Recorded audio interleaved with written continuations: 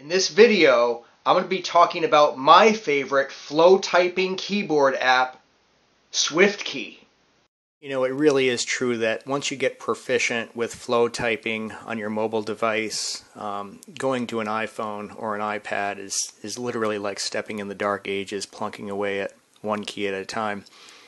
Go to the Android Play Store, the Google Play Store, and people purchase the full version of the SwiftKey keyboard. I believe it's $1.99. It was when I bought it. You can see the screenshot here. I've got it installed on my phone.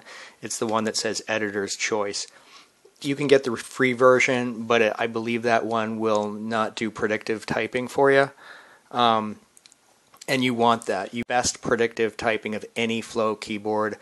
I've tried a couple of them, including Swype, which comes pre-installed on many Android phones um, people, SwiftKey blows Swype out of the water. Okay, if you've been using Swype and you just haven't really gotten down with it, do yourself a favor and get into SwiftKey. It is just amazing. The ease of typing, it, it's it's very accurate. Um, again, the predictive um, typing is amazing. It'll it'll show you often of, of you know the patterns in your word choice um, for selecting what words you use. And not always, you know, not 100% of the time by any means, but it's it's pretty darn good. And, the, and the, with the more experience you get with it, the easier it is to type. And it's actually kind of fun um, using the flow typing.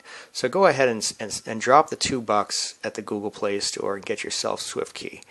Um, now what you're going to want to do is to make sure that that's set as the default keyboard under your phone's settings from the main screen.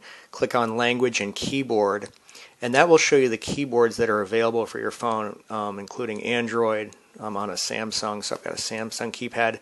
Th those really aren't bad. I mean they're they're good keyboards but what you want to do is you want to select SwiftKey. Okay, now, there are some times where you may reboot your phone, or your, maybe your phone doesn't update, or something like this, and SwiftKey will be deselected. And you'll notice you'll say, "Well, what happened to my key- keyboard? I've, you know, um, the Android keyboard is the default, or Swype is the default." Just go back in your settings. It, it doesn't happen very often, but just make sure SwiftKey is selected, people, as your default keyboard. Now, in the SwiftKey settings, you can fine tune your theme and layout um, I turn sound and vibration off.